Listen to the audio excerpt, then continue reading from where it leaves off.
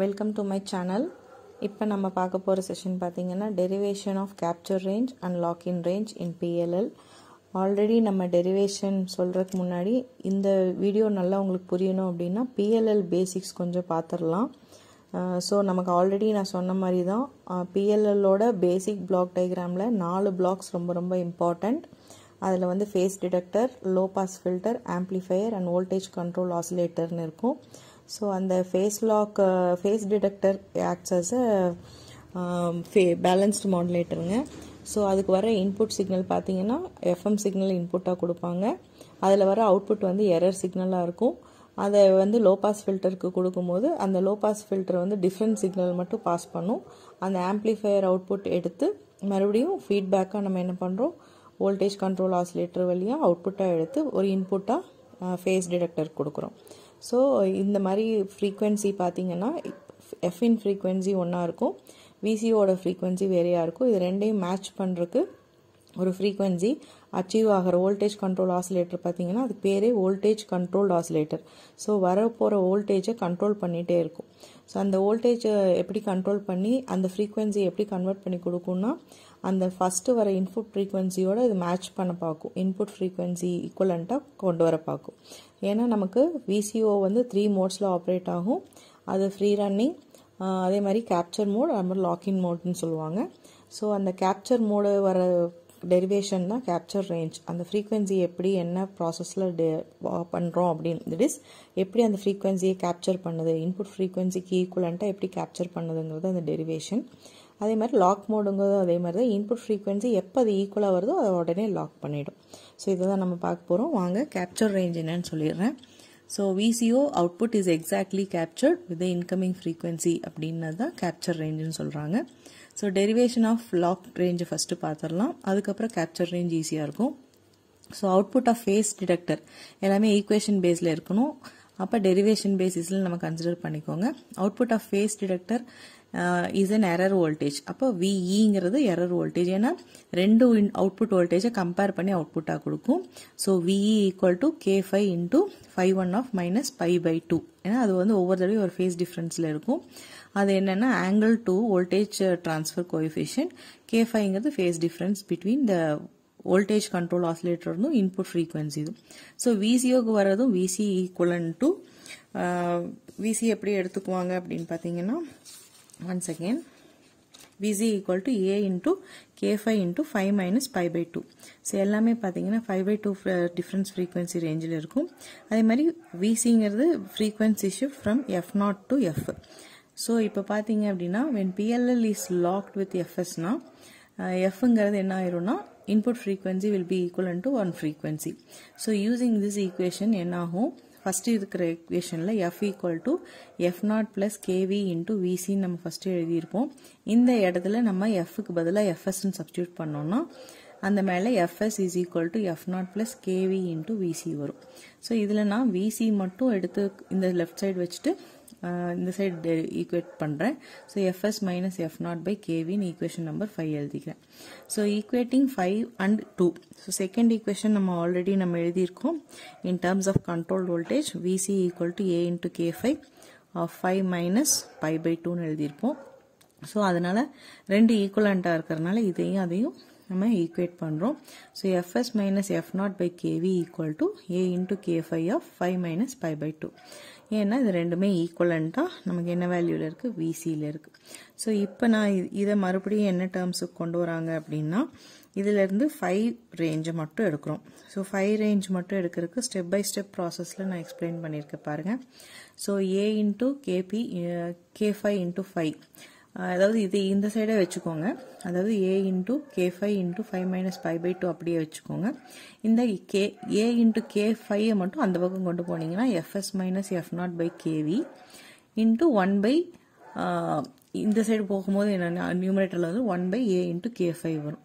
So how this can be ரீ ரிட்டன்னா இப்போ நமக்கு ஃபைவ் வேல்யூ மட்டும்தான் தேவைப்படுது.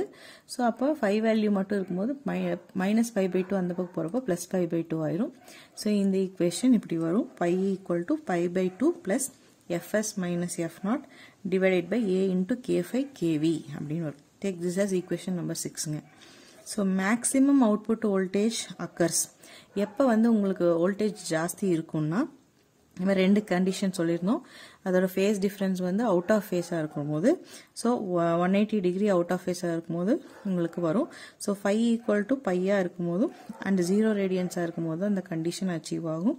ஸோ அந்த கண்டிஷனில் இப்போ நம்ம விசி மேக்ஸ் அதாவது எரர் எரரோட மேக்ஸிமம் வோல்டேஜ் என்ன அப்படின்னு பார்த்தோம் அப்படின்னா it is equal to plus or minus K five into five minus five by two so இந்த ஈக்குவேஷன் எங்கேருந்து வந்தது அப்படின்னா ஆல்ரெடி நம்ம first lock range PLL define பண்ணும் போதே நம்ம லாஸ்ட்டு டாப்பிக்கில் பார்த்துருக்கோம். VE of max is equal to plus or minus KP into pi by two so இதை வேஸ்ட் பண்ணி நம்ம எந்த ஈக்குவேஷன் எழுதுகிறோம் பேஸ்ட் ஆன் திஸ் செவன்த் ஈக்குவேஷனில் with respect to K five into five minus five by two which is depend on the phase ஷிஃப்ட்னு ஒரு terms இருக்கும். So pi phase shift வந்து எதை பேஸ் பண்ணியிருக்குன்னா அந்த பை பை டூவில் எப்படி பையாக எடுத்துக்கிட்டா மட்டும்தான் அந்த டிஃப்ரென்ஸ் டிவியேஷன் வருதுங்கிறனால இந்த கண்டிஷன் இங்கிருந்து அச்சீவ் ஆகுது. பாருங்கள் ஸோ அந்த இடத்துல ஃபைவ்க்கு பதிலாக நீங்கள் பை போட்டிங்க அப்படின்னா KP into five minus five by two so five five minus five by டூங்கிறது one eighty minus five by டூங்கிறது ninety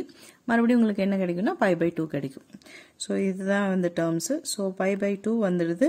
Uh, so இந்த ஈக்குவேஷனை தான் மறுபடியும் நம்ம uh, அந்த K phi into K five into five minus five by டூவாக substitute பண்ணுறோம் so at VCO so நம்ம voltage control ஆசிலேட்டரில் பார்க்குறப்ப இந்த விசி மேக்ஸ் அவுட்புட் எப்படி இருக்கும்னா K into K phi into five by two so இதே டேர்ம்ஸ் தான் நம்ம இங்கே ரிப்பீட்டடாக எழுதியிருக்கோம்.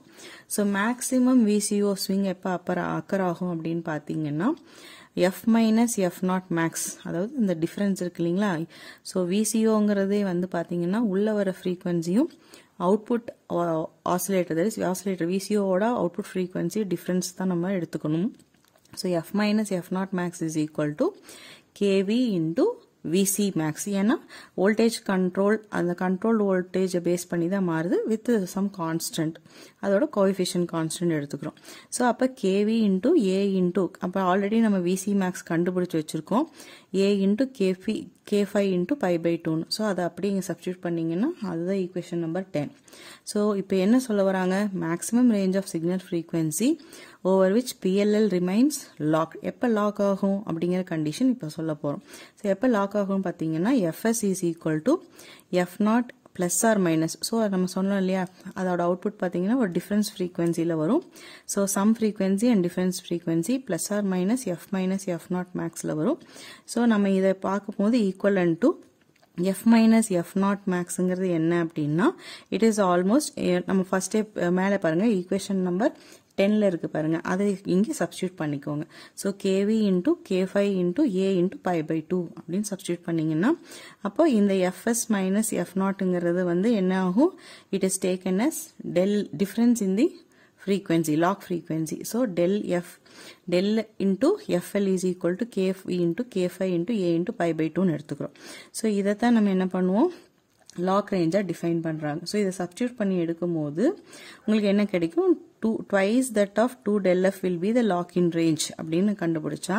அப்போ இதை ரெண்டையும் நீங்கள் ஈக்குவேட் பண்ணி பார்த்தீங்கன்னா it can be given as del fl is equal to kv k5 a into pi by 2 அப்படின்னு சொல்லலாம். Or lock in range can be taken as 2 del fl equal to kv k5 a into pi ஒன்னா pi ரேஞ்சில் இருக்கலாம் அல்லது pi by two ரேஞ்சில் இருக்கலாம் with respect to twice ஒரு ஒரு ஆங்கிள் ஒரு சைடு ஆங்கிள் மட்டும் எடுத்தோம் அப்படின்னா பை பை டூ ரெண்டு சைடும் காமனாக எடுத்தீங்க அப்படின்னா அந்த ஆங்கிள் ரெடியூஸ் ஆகி பை ஆயிரும். தட் இஸ் ஜீரோ டு இந்த சைடு ஒரு பை அந்த சைடு ஒரு பை ஸோ uh, ரெண்டையும் ஆட் பண்ணும்போது உங்களுக்கு வந்து uh, டூ பை கிடைக்கும். ஸோ இதுதான் கான்செப்ட் ஸோ இந்த கான்செப்டில் தான் இந்த டெரிவேஷன் முடியுது. ஸோ இதுதான் டெரிவேஷன் ஆஃப் கேப்சர் ரேஞ்சுங்க ஸோ வென் பிஎல்எல் இப்போ நெக்ஸ்ட்டு போகிறோம் லாக்இன் ரேஞ்ச் கண்டுபிடிச்சிட்டோம். இப்போ கேப்சர் ரேஞ்ச் போகலாம் கேப்சர் ரேஞ்சில் என்ன சொல்கிறாங்க அப்படின்னா when PLL is not locked to the input signal, the VCO frequency will be free running frequency and is denoted by a frequency range called F நாட்டுங்க so எந்த frequency இல்லாத போது அது வந்து என்ன ஆகிட்டு இருக்கும் லாக் ஆகாது ஸ்விங் ஆகிட்டு இருக்கும் ஸோ எந்த ஃப்ரீக்வன்சி இன்புட் எக்ஸ்டர்னல் இன்புட் நம்ம கொடுக்க போகிறது இல்லை ஸோ இப்போ phase difference between this signal and VCO output அப்போ இதோட ஃபேஸ் டிஃப்ரென்ஸ் மறுபடியும் அதே மாதிரி தான் ஃபேஸ் டிடக்டரோட டிஃப்ரென்ஸ் ஃப்ரீக்வன்சி என்னன்னு கண்டுபிடிக்கிறோம். That is equal and to with respect to five ஏன்னா phase ஆங்கிள்னால five equal to omega S T plus theta S minus omega naught T plus theta naught அதாவது first வர இன்புட் சிக்னல் அதோட difference வந்து விசிஓட ஃப்ரீக்வன்ஸை minus பண்ணி கொடுக்குது. So அதுதான் இங்கே ஒமேகா எஸ் ஒமேகா எஸ்ங்கிறது சிக்னல் ஃப்ரீக்வன்சி ஒமேகா நாட்டுங்கிறது வந்து ஆசிலேட்டரோட ஃப்ரீக்வன்சி ஸோ இதை டிஃப்ரென்ஷியேட் பண்ணால் உங்களுக்கு வந்து தட்ஸ் டிஃப்ரென்ஷியேட்டில் ஃபஸ்ட்டு மைனஸ் பண்ணி அதை ஃபார்முலேட் பண்ணிக்கோங்க. ஒமேகா எஸ் காமன் டேர்ம் எடுத்தால் omega S minus omega naught into டீன்னு கிடைக்கும். அதே மாதிரி டீட்டா எஸ் மைனஸ் டீட்டா நாட்டை வந்து நான் சிங்க டிஃப்ரென்ஸ் இன் டீட்டா அப்படின்னு எடுத்துக்கிறோம். டெல் டீட்டா ஸோ அப்போ five equal to omega S minus omega naught into T plus del டீட்டான்னு கிடைக்கும். ஸோ ஃபேஸ் சேஞ்ச் எப்போ அக்கர் ஆகும்னா with respect to time so இது வந்து with respect to time change ஆகிட்டே இருக்கும். கேப்சராக கேப்சர் பண்ணிகிட்டே இருக்கும். எப்போ வந்து இன்புட் ஃப்ரீக்வன்சி ஈக்குவலண்ட்டாக வருதுன்னு அதை டிடெக்ட் பண்ணிகிட்டே இருக்கும். ஸோ இது இஸ் வித் ரெஸ்பெக்ட் டு டைம்னால நம்ம டி ஃபைவ் பை டிடி அப்படின்னு பண்ணோம்னா அப்போ அந்த ஈக்குவேஷன் நம்பர் ஒன் என்ன ஆயிரும்? ஒமேகா எஸ் மைனஸ் ஒமேகா நாட்டின் நாட்டுன்னு கிடைக்கும். So take that as equation number two இப்போ என்னன்னா now the phase detector will produce and AC voltage and not a DC component so நமக்கு இப்போ என்ன வேணும்னா இங்கே இன்புட் ஃப்ரீக்வன்சியாக கொடுக்குறோம். பட் இங்கே விசிஓக்கு வரும்போது இட் ஆக்ட்ஸ் அஸ் அ விசிஓட ஆப்ரேஷன் என்னென்னா வோல்டேஜை கண்ட்ரோல் பண்ணுறது அதோட ஆப்ரேஷன் ஸோ அதை வந்து என்ன ஆகும்னா ஏசி வோல்டேஜை கன்வெர்ட் பண்ணிடும். So with respect to this அதுக்கு ஒரு ஆம்ப்ளிடியூட் பீக் ஆம்ப்ளிடியூடும் ஃப்ரீக்வன்சி இருக்கிற மாதிரி அது வந்து கொடுக்கும்.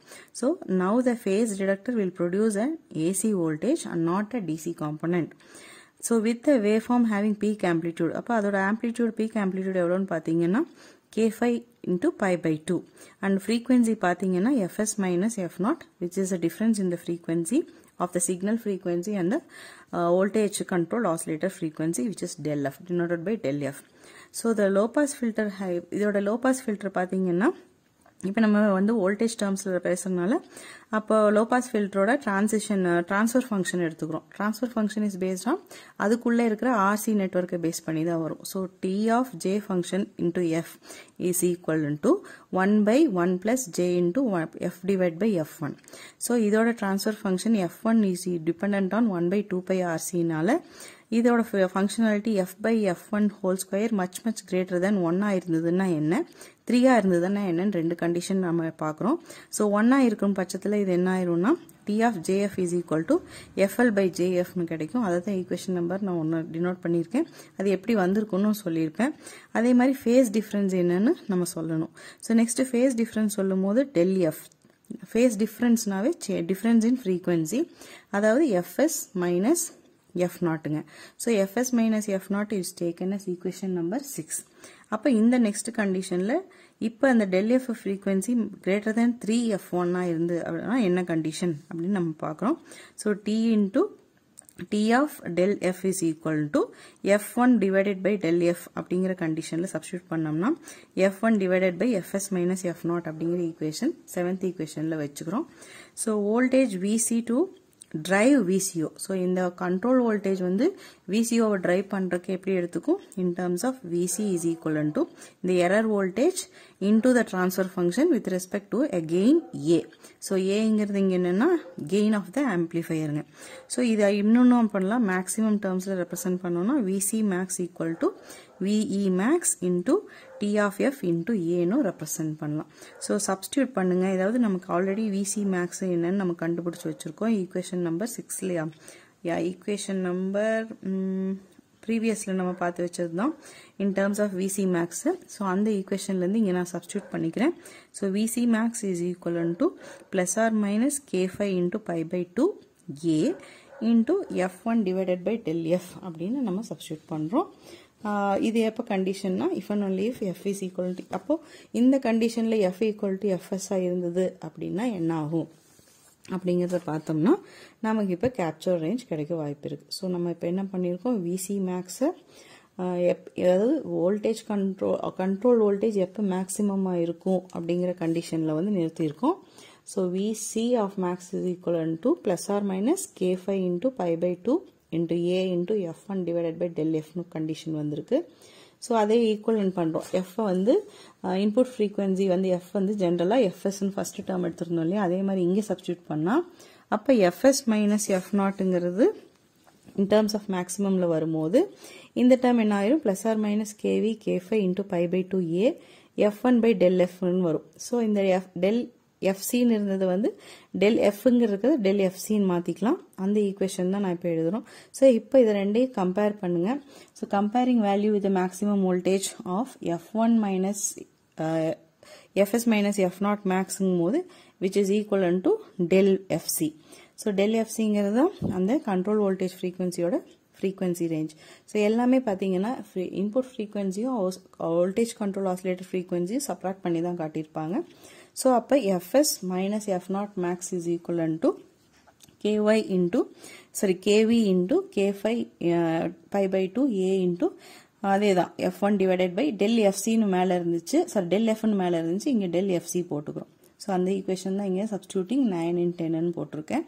ஸோ இப்போ நீங்கள் பார்த்தீங்க அப்படின்னா இப்போ ஸ்கொயரிங் பண்ணுறாங்க டெல் இன்ட்டு எஃப்சி ஸ்கொயர் என்ன பண்ணும் அப்படின்னா plus or minus del in plus or minus KV K five pi by two A into F one ஆகும்.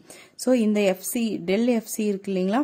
ஸோ நம்ம F F FS minus F naught left hand சைடில் இருக்கிறது del எஃப்சின்னு தெரியும். நமக்கு இங்கே